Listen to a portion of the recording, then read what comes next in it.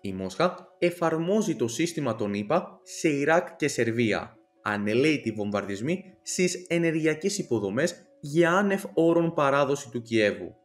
Το χτύπημα στην Οδυσσό τη νύχτα της 31ης Μαρτίου λοιπόν είναι η αρχή του ρωσικού σχεδίου για τον εξαναγκασμό του Κιέβου να παραδοθεί στις ρωσικές δυνάμεις αναφέρουν μέσα μαζικής ενημέρωσης. Αυτό το τρομερό σχέδιο πρόκλησης χάους και καταστροφής στην Ουκρανία έχει ήδη τεθεί σε λειτουργία από την Μόσχα και προσωμιάζει με αντίστοιχα αμερικανικά σχέδια κατά του Ιράκ και της Ιουγκοσλαβίας το 1999.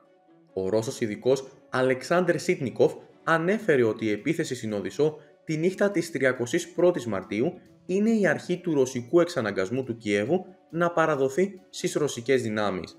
Σύμφωνα με διάφορες πηγές, στις 31 Μαρτίου το καθεστώς του Κιέβου δεν είχε ούτε ένα καλό νέο, τόσο στο μέτωπο όσο και στο πίσω μέρος.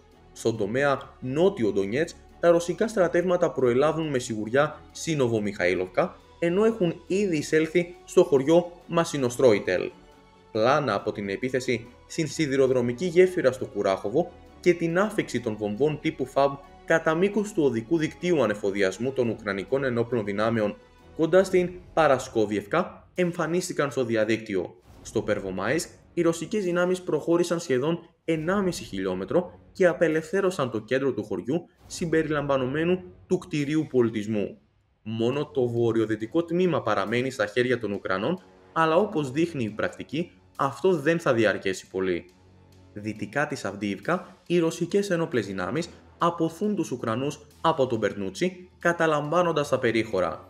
Το ρωσικό πυροβολικό εργάζεται δυναμικά στα δυτικά, όπου οι ένοπλες δυνάμεις της Ουκρανίας αποσύρονται και υποχωρούν συνεχώς.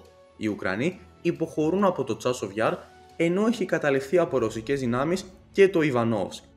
Υπάρχει μια σοβαρή προέλαση του ρωσικού στρατού στο νότιο τμήμα της προεξοχής του Σεβέρς και κοντά στην Ρασδολόβκα. Αυτό ήταν το βίντεο. Αν σ' άρεσε, μπορείτε να κάνετε εγγραφή στο κανάλι για να λαμβάνετε ειδοποίηση για κάθε νέο.